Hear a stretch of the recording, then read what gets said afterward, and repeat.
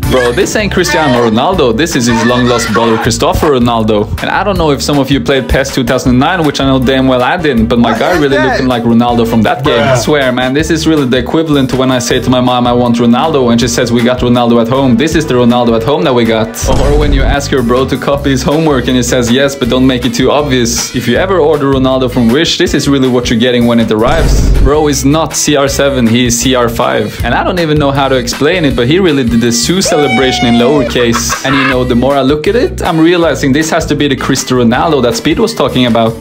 Cristiano Ronaldo, Suey. Every day I'm shuffling.